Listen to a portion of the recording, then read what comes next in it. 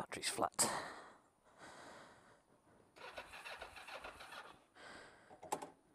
Right, bump start, clutch in. Second gear, pick up some speed.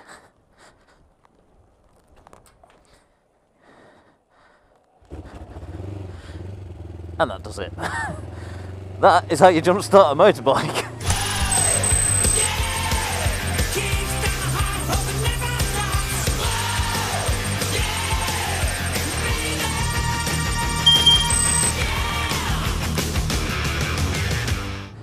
yeah, I'll have to look into that. I'm not sure why the battery was flat then. Um, I did have the bike, I'll turn the ignition on a couple of minutes before I really started it, but it shouldn't have been enough to flatten it.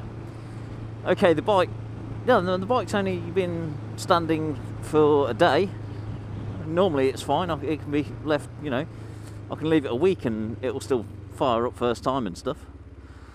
So maybe my battery's on the way out and it couldn't because I left the heated grips on. One, because I haven't had the heated grips on, and two, the Oxford has the battery saver mode, so it cuts them off anyway if I do leave them on. So it's not that, and there's nothing else that can be left on.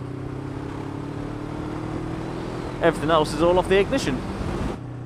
Anyway, today's mission, whether I like it or not, is to head over to Shoreham to Wemoto pick up a new sprocket and chain kit and then head back and into Worthing to Sussex Rolling Road where I normally get uh, these little jobs done and uh, get them to fit it and uh, have a new sprocket and chain because uh, they need doing.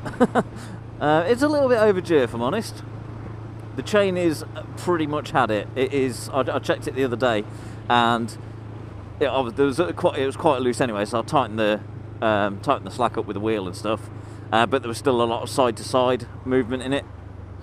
So yeah, it is a bit knackered. And uh, I had a look at the sprockets. So the rear sprocket isn't too bad, but the front sprocket, the front sprocket has gone a bit, uh, a little bit shark finned. So uh, it's time to get them done. And uh, they've lasted quite well, to be honest. They've um, they've been on since the end of March last year. I had them done just before the winter Svengalie ride last year and I'm getting these done just before this summer Svengalie ride this year.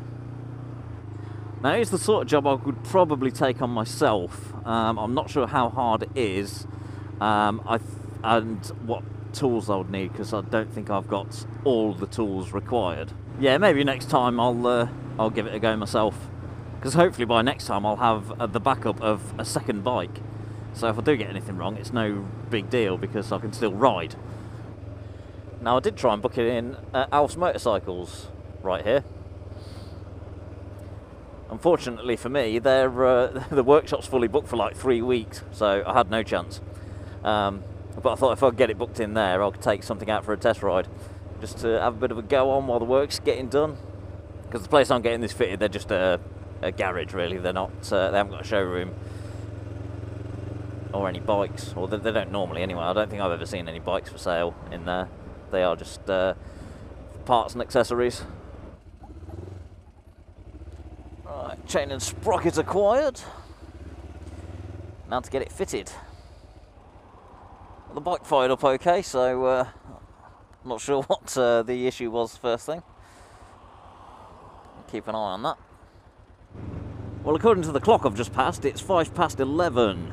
Uh, the place I'm taking the bike to to get done is opposite a pub, which opens at 11, so I can go in there and kill some time. Unfortunately, no beers allowed, but uh, oh, it's too early for that, really, isn't it?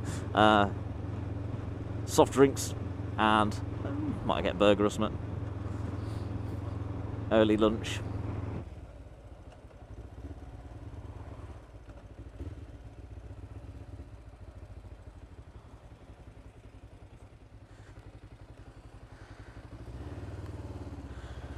Okay, that is not bad at all.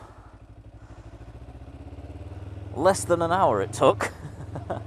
I'd literally just finished, just finished my lunch in the pub, and I got a call saying it's ready. I was expecting it to be at least another half hour, because he did when I dropped in, he did say there's a scooter on the go at the minute, and then yours is next. So I thought, okay, well, yeah, might be looking at about an hour and a half wait time, but no, all done less than an hour. Brilliant. Right, feels better. Now this has worked out a bit cheaper than last time for me because uh, last time I went to Sussex Rolling Road and they supplied the part and did the fitting uh, and the total was 140 something I seem to remember. Uh, this time round I've gone and bought the bits myself and they've just done the labour and uh, in total that's worked out to 125 quid. So uh, can't really complain at that and hopefully next time it'll be even cheaper because uh, I'll do it myself but it's good to have the peace of mind now. It's uh, it's done. I'm going to be good for a load more miles now. Uh, it's one one thing I haven't got to worry about on the Svengalie ride this weekend. I'd hate to have to break down on that. But no, we should uh, we should be all good now. So looking forward to uh, to the weekend. All right, I'll make it nice and hard for you and go uphill.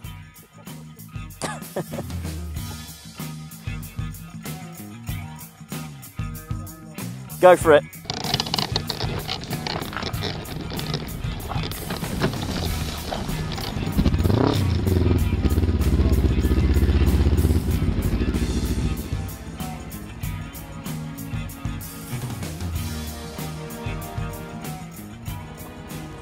Ah. Well everyone, welcome to the Svengalie Memorial Ride 2016 from Whiteways Cafe over to Camber Sands.